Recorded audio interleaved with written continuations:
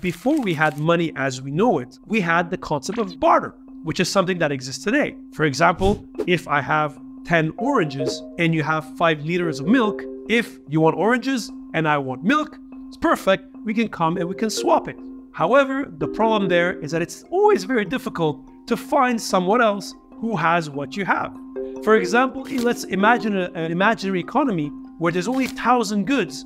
That means that we need almost half a million different trading pairs if we want people to be able to exchange these goods.